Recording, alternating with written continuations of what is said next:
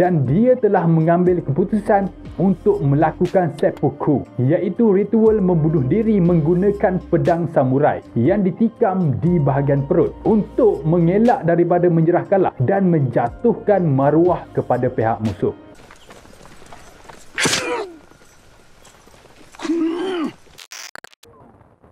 Assalamualaikum warahmatullahi wabarakatuh Welcome back to my channel Metu just create content Make your smile Okay, samurai merupakan individu yang sangat-sangat mahir dalam ilmu pertahanan diri yang selalu kita bayangkan sosok tubuh pahlawan ni yang pegang pedang katana tu. Yang kebanyakan mereka ni adalah orang Jepun. Tapi korang percaya ke tak ada seorang lelaki ni yang merupakan seorang hamba kulit hitam dia berjaya naikkan darjat dia tu menjadi seorang samurai yang tersohor di Jepun.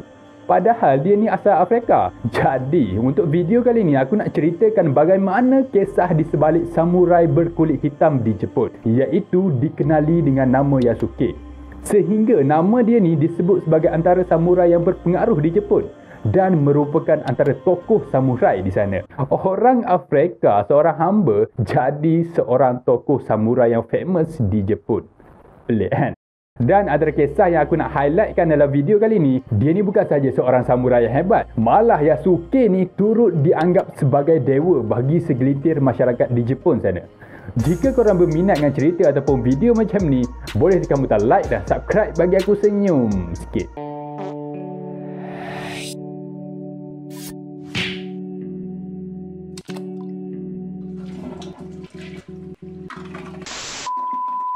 Lelaki berkulit hitam yang diberi nama Yasuke ni merupakan seorang samurai yang sangat-sangat hebat. Dia merupakan dari kalangan samurai bukan orang Jepun. Dan dia merupakan warga asing yang pertama menjadi samurai di tanah matahari terbit tersebut. Yasuke ni digelar The Black Samurai. Kalau korang ada layan cerita anime Yasuke di Netflix, cerita ni ada menceritakan tentang watak Yasuke ni. Guess I'll have to shut your mouth for you.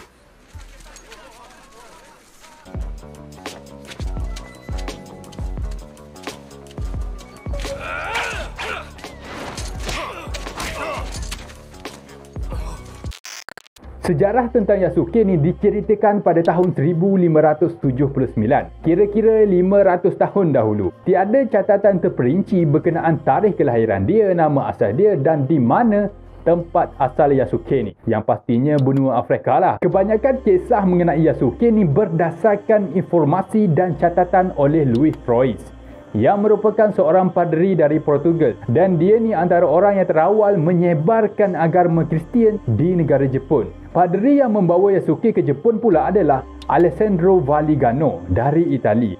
Masa tu dia bawa sekali hamba dia yang diberi nama Yasuke pergi belayar ke timur. Pada abad ke-16, negara Jepun masa tu masih lagi berpecah. Masa Alessandro ni mula sampai di Jepun bersama anak kapal dia dan Yasuke, semua orang pelik masa mula-mula tengok Yasuke ni. Semua tertupu dekat dia. Kerana muka dia ni lain daripada yang lain. Dari segi warna kulit dan penampilan dia yang berotot. Sebab itulah dia dipanggil Yasuke. Yang bermaksud si kulit hitam. Tinggi Yasuke dikatakan 6 kaki 2 inci ataupun 1.88 meter. Memang beza sangatlah dengan masyarakat Jepun yang rata-ratanya 5 kaki 2 inci je. Sebab tu semua orang jadi pelik ada cerita yang mengatakan ada orang mati kerana berebut nak tengok Yasuke masa tu. Dan rumah Yasuke diceroboh. Sebab ada orang nak tengok Yasuke ni.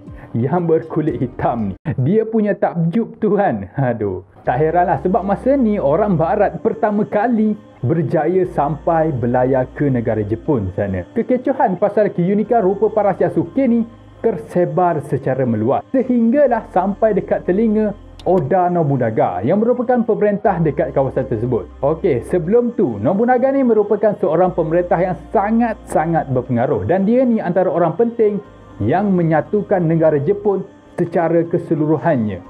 Setelah kematian dia, hampir separuh tanah di Jepun di bawah penguasaan Nobunaga. Jadi, masa Nobunaga ni pertama kali jumpa Yasuke, dia suruh Yasuke tu buka baju. Nak pastikan warna kulit pada badan Yasuke tu bukan cat.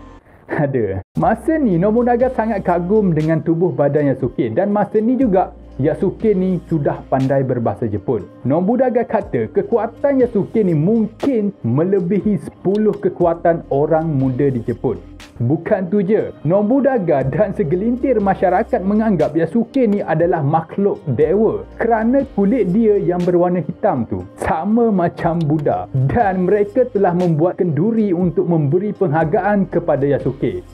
The Black Samurai ni. Selepas beberapa hari lepas tu, Nobunaga ni mengambil Yasuke sebagai pengikut dia. Dan dia dilatih menjadi samurai. Masa ni Yasuke ni makin rapat dengan Nobunaga. Dia diperlakukan macam keluarga biasa. Dan Yasuke ni antara orang yang terpilih untuk makan bersama Nobunaga. Dia juga diberikan wang dan tempat tinggal. Berkenaan dengan dakwaan yang mengatakan Yasuke ni seorang hamba, benda ni nampak macam tak logik. Kerana Yasuke ini sendiri ada bakat dalam pertahanan diri. Malah dalam masa hanya setahun je dia sudah bergelar samurai. Berbeza dengan samurai Jepun yang lain berlatih dari kecil nak jadi samurai. Oleh sebab tu Yasuke ni dilantik menjadi pembawa senjata Nobunaga. Hebat kan? Benda ni sebagai penghormatan besar kepada Yasuke dan selalunya perkara macam ni diberikan kepada orang yang sangat-sangat dipercayai dan pandai menjaga rahsia terutamanya berkaitan urusan luar negeri. Yasuke orang asing yang pertama mendapat kepercayaan tersebut daripada ketua samurai Oda Nobunaga. Yasuke, you are samurai.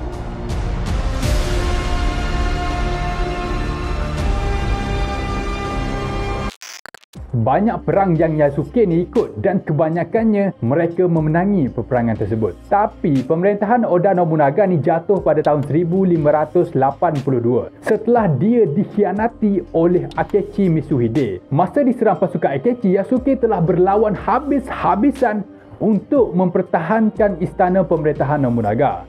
Daripada ditakluki, tapi Nobunaga dah cedera teruk masa tu dan dia telah mengambil keputusan untuk melakukan seppuku iaitu ritual membunuh diri menggunakan pedang samurai yang ditikam di bahagian perut untuk mengelak daripada menyerah kalah dan menjatuhkan maruah kepada pihak musuh.